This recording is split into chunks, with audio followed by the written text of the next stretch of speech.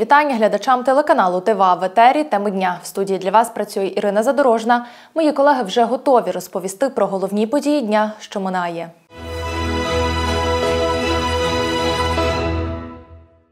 Буковина разом з усією Україною продовжує чинити спротив агресору. Минає 636-та доба широкомасштабної збройної агресії Російської Федерації проти України.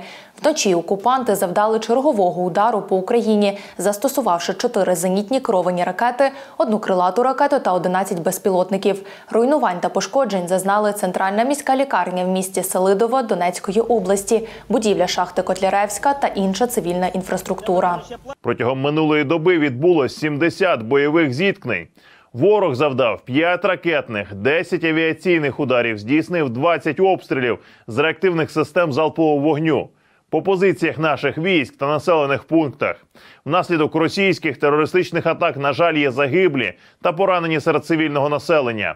Руйнувань та пошкоджень зазнали приватні житлові будинки та інша цивільна інфраструктура. Буковинці залишаються на передовій боротьби з російським окупантом за незалежність України.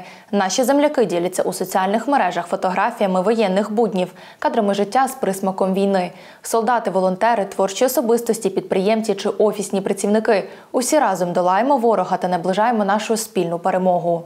Події, які змінили українців та Україну в цілому, 21 листопада відзначають одну із знакових дат в історії нашої держави День гідності та свободи на честь двох революцій.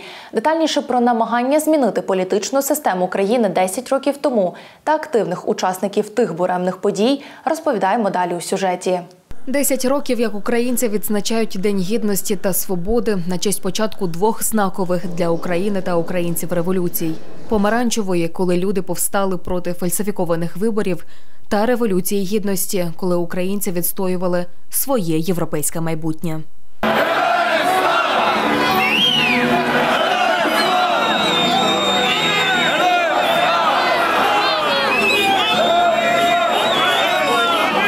Тоді, 10 років тому, перші протестувальники, студенти вийшли на мирну акцію на Майдан Незалежності після оголошення про відкладення підписання угоди про асоціацію з Євросоюзом. Основні протестні заходи відбувалися у столиці. Утім, висловити свою позицію виходили у всіх містах нашої держави. Чернівчани не залишилися осторонь. Тоді однодумці зібралися на центральній площі міста. З самого початку вийшов, як усі люди, підтримати студентів. І так залишився на Майдані. Вийшли проти Бандюковичів, як всі знають тоді. Так мені довелося бути комендантом Майдану тут у Чернівцях. І я з молоддю, студентами тут пробув Майдан, пройшло, пройшли всі будні Майдану. Учасники кажуть, Майдан був не тільки про європейську інтеграцію. Суть майдану була значно більшою. Люди боролися за свої права жити у вільній демократичній європейській державі і протестували проти свавілля та беззаконня. Ми потребували змін. Ми хотіли незалежності, оскільки шлях до незалежності надзвичайно складний. У Києві акція протесту переросла у справжній спротив після того, як Беркут жорстоко розігнав студентів на майдані. Найкривавішим днем революції став 20 лютого. Тоді на вулиці Інститутській розстріляли 47 протестувальників. Загалом Небесна Сотня налічує 107 загиблих.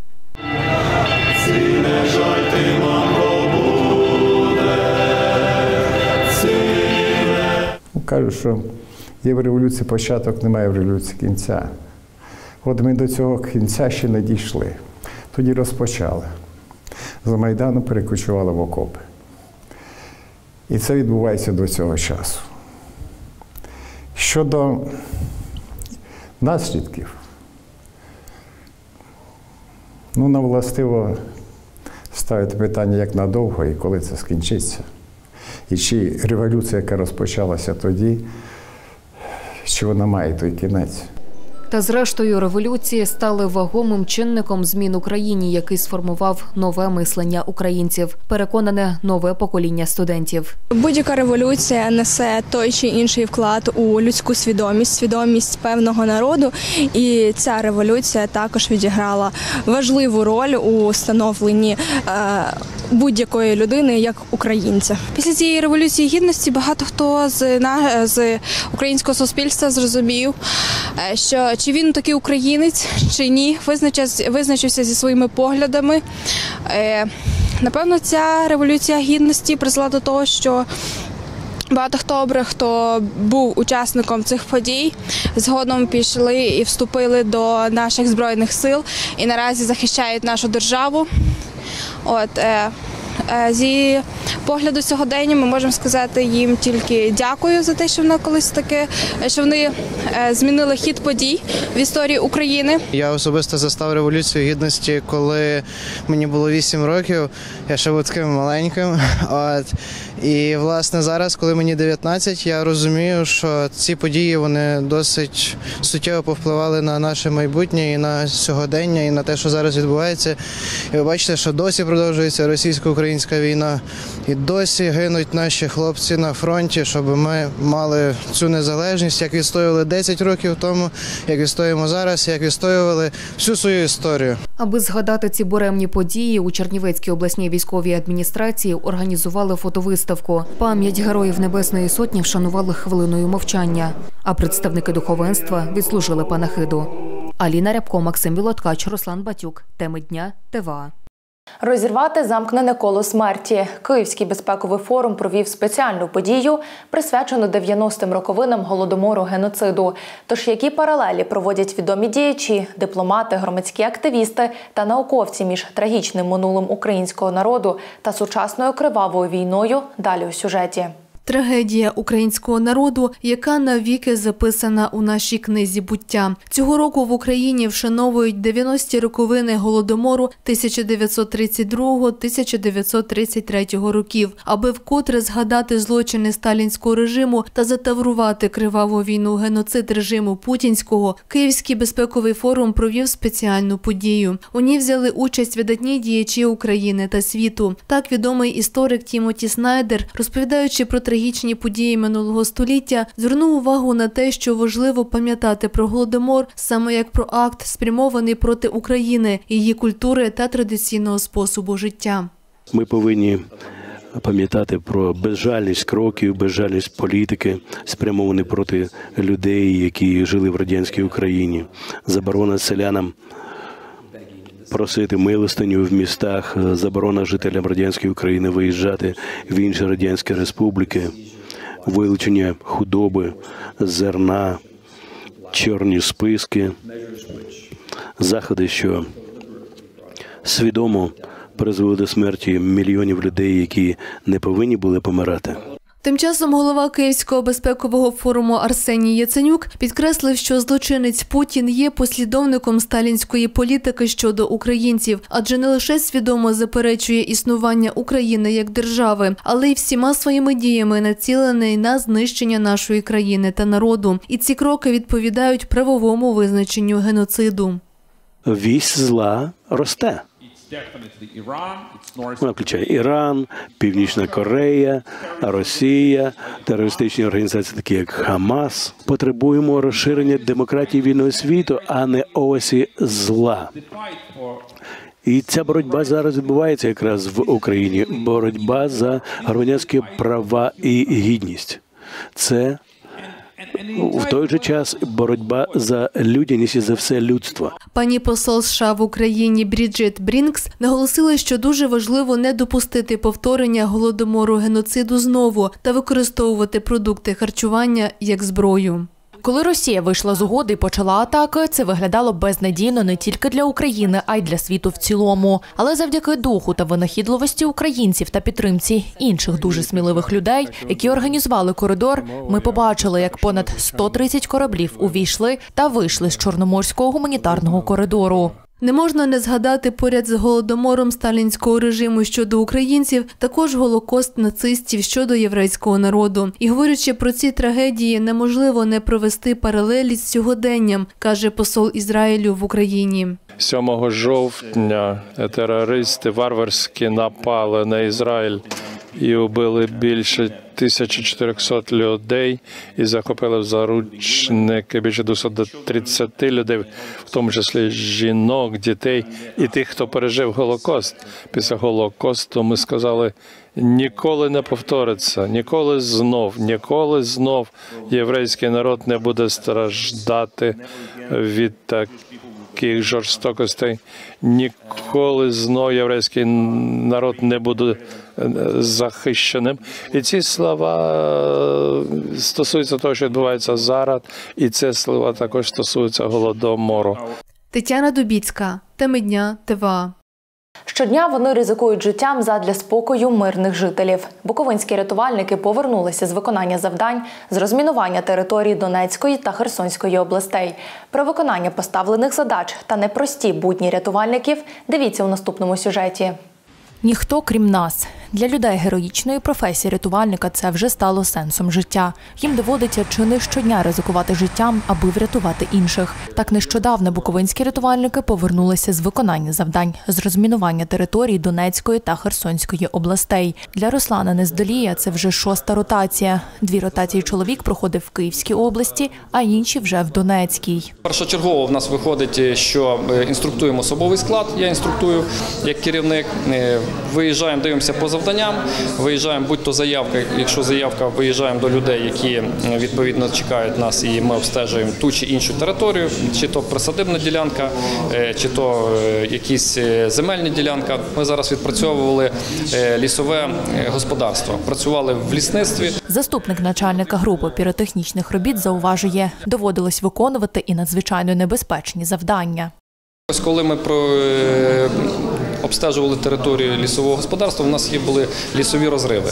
Е, Ми проходили і були мінні загородження. Мінні загородження це таке, е, що е, міна в міну стоїть як в шахматному порядку, е, розташовані, і їх на одній території могло бути там 25-30 мін. І ми відповідно відпрацьовували згідно там е, наших нормативних документів і знищували їх на місці. А ось Юрій Савіцький нещодавно повернувся із Херсонщини. Він в складі групи проводив аварійно-відновлювальні роботи та надавав допомогу місцевому населенню. Пригадує, доводилось щодня виконувати поставлені задачі під постійними обстрілами. Найгарячіший випадок це те, що ми щоденно працювали під обстрілами. Обстріли там не припиняються. Ми мусили виконувати поставлені задачі. Ми готові були їхати виконувати задачі. Це наша робота, служба, і ми повинні ніхто крім нас. Руслан Нездолій зазначає, група укомплектована не лише професіоналами своєї справи, але й сучасним обладнанням. Дуже технічне забезпечення зараз на сьогоднішній день дуже е, нормально і е, я би сказав, е, дуже. Дуже все видається зараз. Також автомобілями наша група забезпечена в повному обсязі. Е, Засобами приладу, засобами, е, засоби пошуку, засоби захисту в повному обсязі. Е, На рахунок цього це дуже, дуже, дуже все пішло вперед. Нині за свою небезпечну працю рятувальники були нагороджені почесними відзнаками та почесними грамотами від начальника Чернівецької обласної військової адміністрації Руслана Запоронюка. Ірина Задорожна, Руслан Батюк, теми дня ТВА.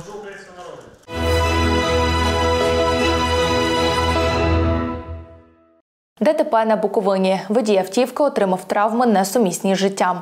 Так, поблизу села Стара Жадова 34-річний житель селища Берегомет не впорався з керуванням автівки та з'їхав у кювет. У подальшому транспортний засіб перекинувся. У результаті аварії водій загинув на місці. Його тіло направили на судово-медичну експертизу.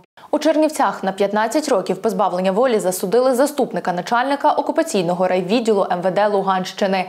Завдяки зібраним службою безпеки доказам співпраці з ворогом Шевченківський районний суд виніс вирок колаборанту, який організував роботу правоохоронного органу окупаційної влади на тимчасово захопленій території Луганщини. Цей колаборант ще до повномасштабного вторгнення Російської Федерації перебував на непідконтрольній Україні частині Луганщини. З 2015 по 2020 рік він виконував обов'язки начальника так званого УГІБДД МВД ЛНР і перебуває в розшуку за участь у терористичній організації. А от коли російські війська тимчасово захопили частину українських територій у 2022 році, фігурант одразу знайшов спільну мову з окупантами. Він добровільно брав активну участь у створенні незаконного підрозділу так званого Троїцького райвідділу міліції і отримав посаду заступника начальника цієї структури. Його засуджено до 15 років позбавлення волі з конфіскацією майна. І стільки ж років він не матиме права обіймати посади в органах державної влади, місцевого самоврядування та інших, які надають публічні послуги. Початок строку відбування покарання обчислюватиметься з дня фактичного його затримання, оскільки засуджений переховується від правосуддя. Але хочу нагадати, що рано чи пізно відповідати перед законом доведеться усім зрадникам і колаборантам. На Буковині у місті Кіцмань виникла пожежа у житловому будинку, під час якої вогнеборці врятували чоловіка.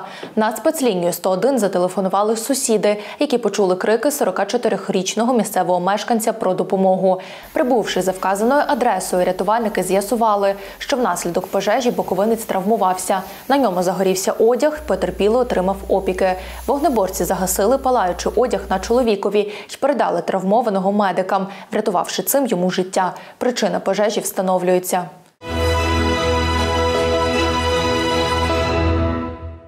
Наразі це все про що варто було розповісти. Більше актуальних та цікавих новин ви можете переглянути на нашому сайті та у соціальних мережах. Я ж з вами прощаюся. Бажаю спокійного та мирного вечора. Бережіть себе.